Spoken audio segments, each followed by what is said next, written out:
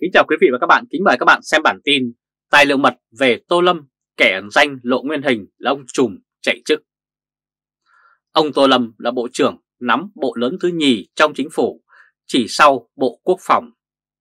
Bộ Quốc phòng thì có hai ủy viên Bộ Chính trị và 18 ủy viên Trung ương Đảng. Bộ Công an thì có một ủy viên Bộ Chính trị và 4 ủy viên Trung ương Đảng. Trong khi đó các bộ còn lại chỉ có duy nhất một ủy viên Trung ương Đảng là Bộ trưởng vì thế Bộ Công an gần như không thuộc quyền điều khiển của Thủ tướng mà là trong tay ông Bộ trưởng Bộ Công an Tô Lâm. Các giám đốc công an là những người được Bộ Công an điều động bố trí, vì thế từ lâu trong lực lượng công an đã nổi lên tình trạng buôn quan bán chức trong ngành này với những thương vụ hết sức béo bở. Đặc biệt từ khi ông Bộ trưởng Bộ Công an Tô Lâm lên nắm quyền thì tình trạng này càng trở nên phổ biến hơn trong lực lượng từ Bắc đến Nam. Và hiển nhiên tại miền Nam, nhất là tại các công an thành phố Hồ Chí Minh, với sự bảo kê của ông bộ trưởng, nhân vật cánh tay trái hoạt động rất năng nổ trong việc chạy chức, chạy quyền ở đây. Đây là hình ảnh cánh tay trái của ông Bộ trưởng Bộ Công an Tô Lâm. Theo như thông tin nội bộ từ bên trong chính phủ Đảng Cộng sản Việt Nam chuyển ra cho biết, chính nhân vật ngồi bên trái ông Tô Lâm là người sắp xếp nhân sự cho các sở công an từ thành phố Hồ Chí Minh cho đến các tỉnh lân cận. Những người này được tay ông này can thiệp có thể kể đến là Phó Giám đốc Công an Thành phố Hồ Chí Minh Nguyễn Sĩ Quang về làm Giám đốc Công an Đồng Nai, cựu Giám đốc Công an Đồng Nai Huỳnh Tiến Mạnh dù bị kỷ luật nhưng được cánh tay trái của ông Bộ trưởng sắp xếp để hạ cánh an toàn. Cựu trưởng phòng hình sự Công an Thành phố Hồ Chí Minh Nguyễn Đăng Nam nay đã bị cách mọi chức vụ trong đảng và ngành công an.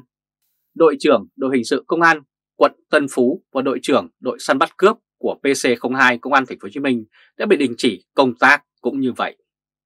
Đây là những cán bộ công an đã bị báo chí phản ánh về những sai phạm công khai trong thời gian vừa qua và tất cả đều là những vật do cánh tay trái của ông Bộ trưởng đưa lên.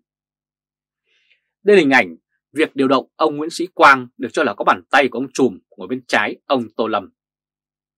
Cũng là bộ trưởng, nhưng không bộ trưởng nào có thể cách chức hay bố trí các vụ thuộc cấp ở các địa phương trong khi đó mới đây, ông Tô Lâm đã điều đại tá giám đốc công an tỉnh An Giang ra Quảng Ninh để nhận nhiệm vụ. Việc Đảng Cộng sản Việt Nam trao quyền điều động nhân sự và can thiệp vào các cơ sở đã giúp cho Bộ Công an như một ông vua của một cõi. Và cũng chính vì làm vua của một cõi mà dường như ông Bộ trưởng Bộ Công an Tô Lâm mới có thể xây dựng đế chế riêng của ông đến như vậy. Và nhiều chuyện ông Bộ, Bộ trưởng Bộ Công an có thể qua mặt ông Tổng Bí thư Nguyễn Phú Trọng Quyền hạn lớn thì phải gắn với trách nhiệm rất lớn. Tuy nhiên, đợt kỷ luật vừa qua, nhiều giám đốc công an tỉnh bị kỷ luật, nhưng ông Tổng Bí Thư không hề đả động gì đến trách nhiệm của ông Bộ trưởng. Mà khi được trao quyền nhiều nhưng trách nhiệm nhẹ, thì hiện tượng lạm quyền sẽ xảy ra. Với 63 tỉnh và thành phố trực thuộc Trung ương trên cả nước, mà Bộ trưởng có quyền bố trí nhân sự tại những nơi này thì đấy là một thị trường rất rộng lớn. Thị trường mua quan bán tức trong ngành công an vì thế cũng hình thành nên người đại diện mà nhân vật ngồi bên trái của ông Tô Lâm ở lần ăn thịt bò rắt vàng tại London vào năm ngoái cũng là một đại diện như vậy. Người này được sự ưu ái của ông Bộ trưởng đầy quyền lực mà trở nên ông trùm mua bán quan chức ở khu vực thành phố Hồ Chí Minh và các tỉnh Nam Bộ. Đây là hình ảnh Bộ trưởng Bộ Công an Tô Lâm. Lẽ ra người ẩn danh đã lộ mặt, đã bị ông Tổng Bí Thư phát hiện thì ông Tổng cần mạnh tay với ông Tô Lâm. Trong trường hợp này cho thấy bản thân ông Tổng Bí Thư cũng đang thiên vị với cánh tay phải của mình. Một ông bộ trưởng mà nuôi một đầu nậu buôn quan bán chức như thế thì rõ ràng là một hiểm họa cho đảng. Không biết ông Tổng Bí Thư Nguyễn Phú Trọng suy nghĩ như thế nào. Ông Tô Lâm là người khéo che đậy trong các hành động, cho nên cách làm việc và nuôi lính ngoài biên chế cho thấy ông Tô Lâm đang mang rủi ro đến cho đảng. Ông Tổng đã dùng Tô Lâm làm người hữu ích, tuy nhiên rủi ro uy tín của Đảng là không hề nhỏ và bất kỳ lúc nào nó cũng có thể nổ ra. Thông tin về cánh tay bí ẩn của ông Tô Lâm sẽ tiếp tục được đăng ở bản tin tới đây của tờ Thể báo.de và các bạn hãy đón xem bản tin lần tới.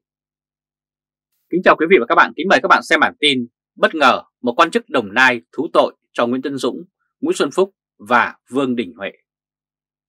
Hiện nay, quan chức đang cho con các cháu đi du học tại châu Âu, Mỹ là một cái mốt. Hầu như không ai cho con mình đi du học ở những quốc gia cộng sản cả, mặc dù chi phí ở những nước tư bản hết sức đắt đỏ. Người đầu tiên mạnh dạn cho con đi các nước tư bản phương Tây ăn học chính là ông Nguyễn Tấn Dũng. Ông cựu thủ tướng của Vạn Việt Nam với có ba người con thì cả ba đều được đi du học rất tốn kém. Còn câu chuyện tiền đâu ra ông Nguyễn Tân Dũng cho con đi du học tốn kém đến như vậy thì ai cũng biết, có điều là chính quan chức không chịu thừa nhận. Đây là hình ảnh ông Nguyễn Tân Dũng đã nuôi ba con đi du học Âu và Mỹ rất tốn kém. Cho con đi du học Âu Mỹ với số tiền cả trăm ngàn đô la mỗi năm đối với một quan chức cấp phường cũng có thể lo được, huống hồ chỉ quan chức cấp tỉnh hay cấp trung ương. Cho nên khi đã làm tới quan chức cấp tỉnh trở lên mà không cho con đi du học là một thiệt thòi, nên ít quan chức nào cho con mình chịu thiệt thòi. Nhà có núi tiền mà không mua cho con một nền giáo dục tốt được xem là không biết dùng tiền. Cách đây vài tháng trên trang mạng xã hội đã rộ lên hình ảnh con gái ông Vương Đình Huệ là Vương Hà My đã chụp hình trong trang phục tốt nghiệp của một trường đại học nổi tiếng đắt đỏ tại Mỹ. Người dân thì biết rằng ông Vương Đình Huệ dùng nguồn tiền nào để cho con đi du học. Tuy nhiên, không bao giờ ông Huệ thừa nhận sự thật như người dân vẫn nghĩ. Người ta ước tính rằng ông Vương Đình Huệ phải gom góp 10 năm tiền lương Chủ tịch Quốc hội thì mới nuôi được cô con gái ăn học có một năm bên Mỹ. Và từ đó suy ra nguồn tiền ở đâu mà ông Vương Đình Huệ nuôi con gái đi du học ở nước ngoài lớn được đến như vậy. Không những ông Huệ mà Nguyễn Xuân Phúc cũng như thế, cũng như con trai ông Nguyễn Xuân Phúc đó là Nguyễn Xuân Hiếu đi du học ở Mỹ rồi về Việt Nam làm chính trị bằng con đường qua đoàn như Nguyễn Bình Chiết con trai ông Nguyễn Tân Dũng đang đi. Cũng tương tự như ông Nguyễn Tân Dũng, ông Vương Đình Huệ thì ông Nguyễn Xuân Phúc cũng phải mất hàng chục năm tiền lương thì mới có thể nuôi con của mình ăn học được có một năm. Đây là hình ảnh con gái ông Vương Đình Huệ tốt nghiệp đại học tại Mỹ. Việc tiền đâu mà quan chức nuôi con ăn học tốn kém chưa bao giờ được quan chức thừa nhận chính thức cả. Vì không ai lại dại đi thừa nhận chuyện xấu xa, bất hợp pháp và vô đạo đức của mình.